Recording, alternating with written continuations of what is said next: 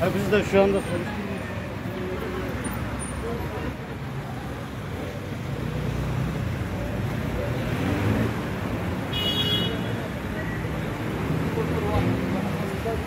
Thank you.